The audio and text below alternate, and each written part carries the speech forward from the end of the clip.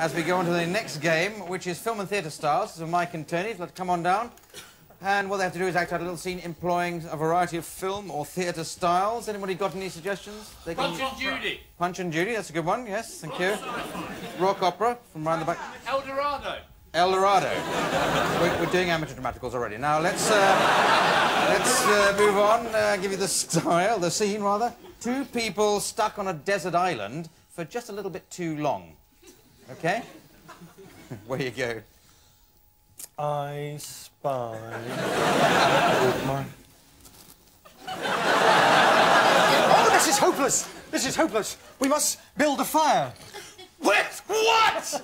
with what? what we have a lot of things to put a fire out with, but we have nothing to build a fire with. I'm buck naked, you're buck naked, the tree's gone, the dog's been eaten, we have sand. A big lump of sand. a bit of Eldorado. There is lots of sand here, yes. That's because it's a crappy film set. And if we dig deep enough, we may find some talent, but I don't know. okay. So, uh, a bit of rock opera. You dig the sand.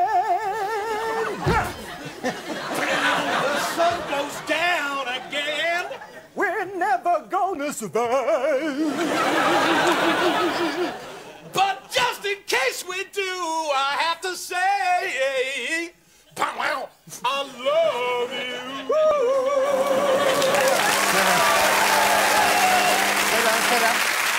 Let's do a bit of uh, punch, punch and Judy.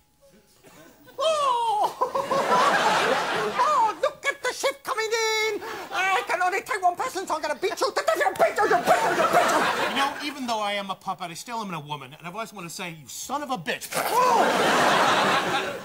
that brought back uh, seaside uh, holidays, uh, spent at Brighton, didn't it? Uh, it's a bit of science fiction. Why, this sand is irritated, Captain. I think we're not going to escape, and what's even worse, we may mutate. I don't know. I got to walk up. Ouch! To... You're mutating already, sir. Yes. I'm sorry about that. Play some of that music, and I'll walk up to the camera weirdly. Wah, wah, wah, wah, wah, wah. Thank you. Excellent. Excellent. That's, uh, that's, and that's storming round. Uh, just edges you into the lead, uh, Tony and Mike, by 3,000 points.